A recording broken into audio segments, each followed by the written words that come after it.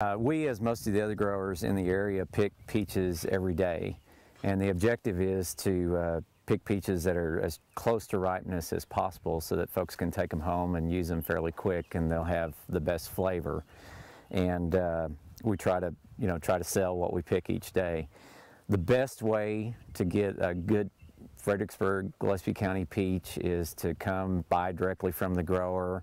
Look for good color on the peaches like these have right here, a good red or yellow blush to them.